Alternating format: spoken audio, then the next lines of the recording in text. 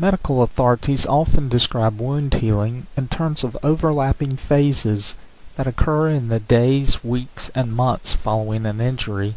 These phases are hemostasis, inflammation, proliferation, and maturation. Hemostasis is commonly included as a component of the inflammation phase, but since we've examined hemostasis in a separate video, we'll only briefly comment on hemostasis before continuing with the remainder of the inflammation phase. Hemostasis is the body's attempt to quickly stop bleeding without unnecessarily disrupting normal blood flow. In the separate video entitled Hemostasis, we saw the constriction of an injured blood vessel, the formation of a platelet plug, the strengthening of that plug by the addition of fibrin strands, and the body's protective systems preventing excessive clot growth. In this video we'll look at just one example of a skin injury, but injuries are unique and the healing process for those injuries varies depending on a number of factors, including the depth, size, type, and location of the wound, the presence and duration of infection, and the health and age of the person injured. So generally speaking, when the skin is injured, for example by a cut or a puncture wound, after the bleeding has stopped, a blood clot is left within the tissue, and a scab will usually form over the wound in the first few days. The beginning of the inflammation phase is marked by the migration of white blood cells into the wound. During the first few days after the injury, the body tries to clean up the wound site. Bacteria, dirt, and damaged cells, as well as other types of debris, may be present in the wound. White blood cells called neutrophils migrate from the bloodstream through the tissue and into the wound. These cells begin to engulf and digest the contaminants. This migration of cells from the bloodstream to the wound begins at the capillaries. Capillaries are the tiny vessels that connect the very small arteries to the very small veins.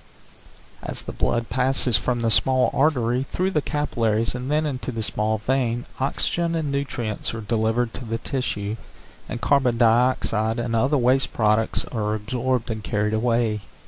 The migration of the white blood cells is made possible by the dilation and increased permeability of these capillaries.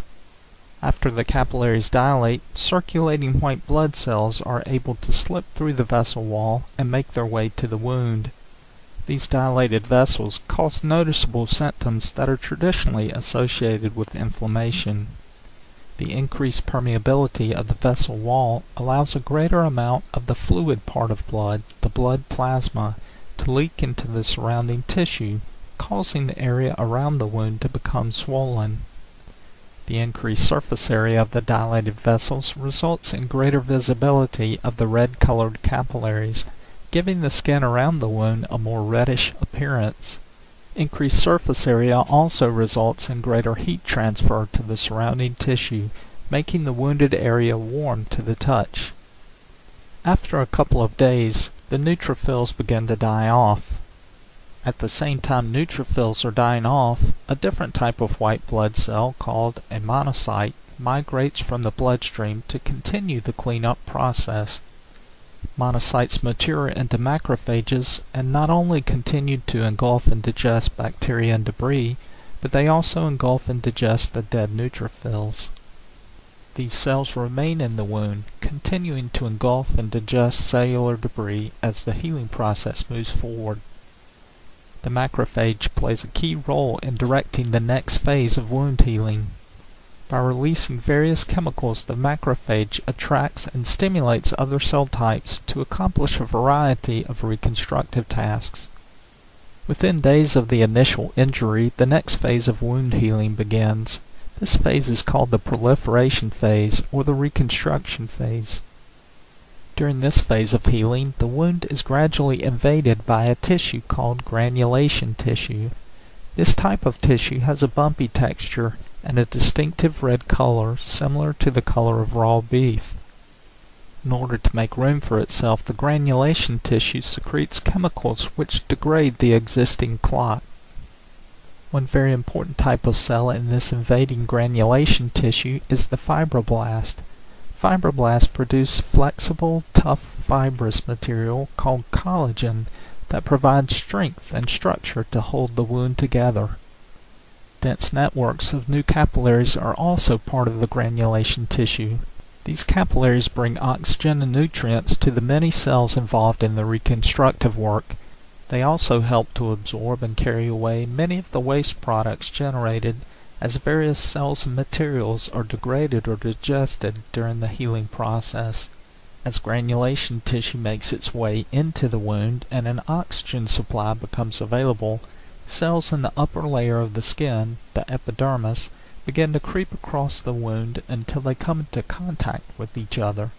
This provides the wound with a top coat of protective skin cells. Also during this phase, the edges of the wound are gradually pulled together. A significant number of fibroblast cells are transformed into cells that function somewhat like muscle cells.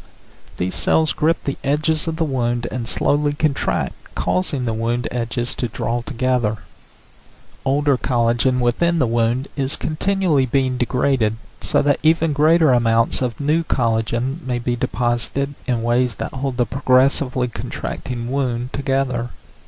The final phase of wound healing may last as long as two years. This phase is called the maturation phase, or sometimes the remodeling phase. Several weeks after the initial injury, as the proliferation phase winds down, and the maturation phase begins, cells and capillaries that are no longer needed begin to thin out. During this phase, the repairs that were made during the proliferation phase are made even stronger. The original collagen material is replaced with a different, stronger type of collagen and is arranged in a more favorable pattern, and the wound continues to contract. So toward the end of the maturation phase, the wound is permanently sealed with a collagen-rich scar tissue that has little of the vibrant cell activity present during the proliferative phase. To sum up then, we've examined the phases of wound healing and seen how the wound is cleaned during the inflammation phase, how the clot is replaced with granulation tissue and a new covering of epidermal cells during the proliferation phase, and how the wound is eventually closed and sealed with scar tissue by the end of the maturation phase.